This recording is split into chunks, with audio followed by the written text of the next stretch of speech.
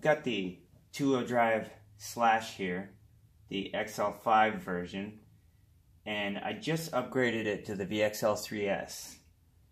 Um, in doing so, I happened to screw up my 86 tooth spur gear.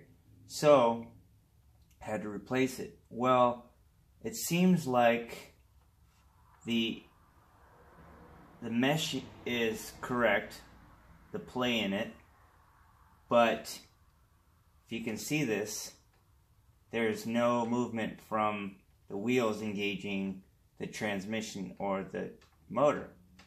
If you do this, then it does it. Well, trying to figure out how much plays there's supposed to be, and is this okay, or is there something going on in my transmission?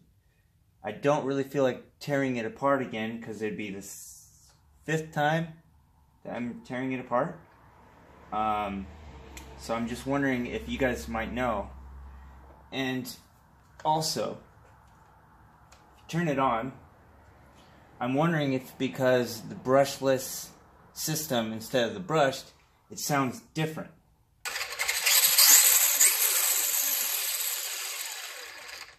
So if you can hear that, there's a difference between that and the brush motor.